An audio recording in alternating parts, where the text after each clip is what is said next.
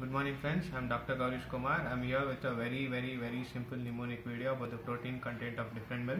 This is a, a PSM that is community medicine subject topic which is very important for NEET exam could be a potential one-liner. So uh, how do you remember the protein content of different milks? Uh, I want you to know that all the protein content of different milk is in the multiples of 1.1. So, so the protein content of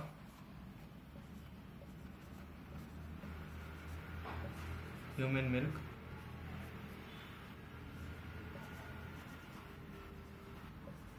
Cow's milk.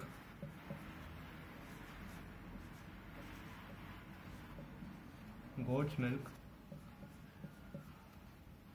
And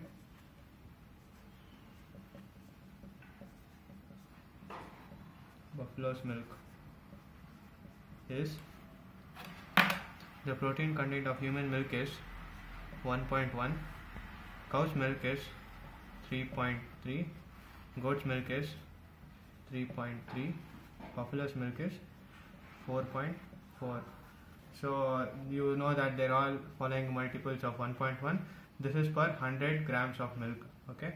So the protein content of human milk is 1.1 cow's milk and goat's milk is 3.3 and buffalo's milk is 4.4 i hope this video has helped you. Please like share and subscribe. Thank you